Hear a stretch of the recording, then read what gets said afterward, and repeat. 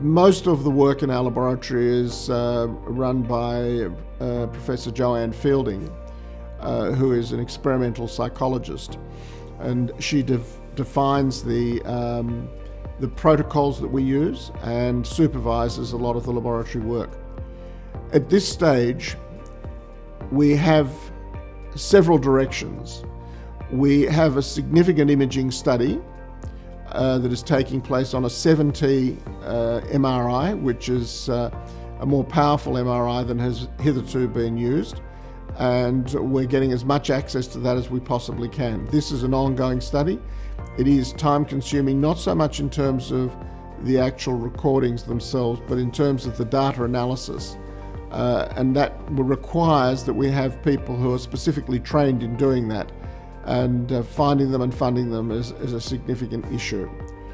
Uh, we are proceeding with integrated uh, experiments whereby we'll be looking at eye tracking experiments within the MRI machine. Uh, we are also trying to define some of the ancillary symptoms. We all talk about visual snow, and we know people are recognized because they have spots in front of their eyes. But every patient out there knows that they have a lot of other symptoms.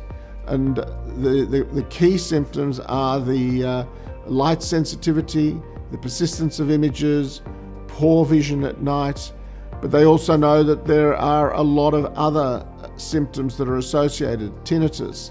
Some people have pins and needles, depersonalization.